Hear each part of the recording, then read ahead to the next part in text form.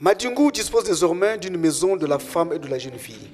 Cette maison, construite et équipée en matériel de couture et informatique, financée à 310 millions de francs CFA par la société pétrolière New Age, a été remise par le ministre des Hydrocarbures Jean-Marc Tissatikaya à la préfecture de la Bouza et au ministère de la Promotion de la Femme pour sa gestion définitive. Le PDG de New Age revient sur les caractéristiques de cet ouvrage.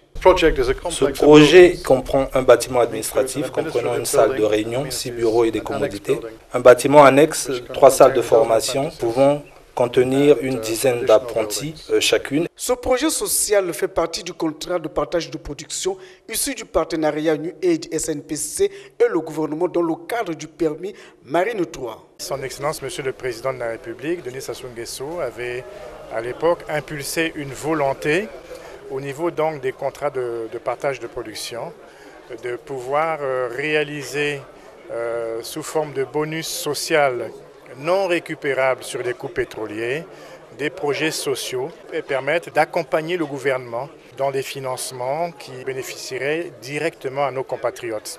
Cette maison permettra à la femme et à la jeune fille d'être formée et d'avoir une activité économique si elles veulent faire la couture, si c'est l'apprentissage de la cuisine ou de l'informatique, alors c'est sur la base de leurs besoins qu'elles seront identifiées et répertoriées. Et après, euh, elles suivront des formations. Ces formations sont gratuites.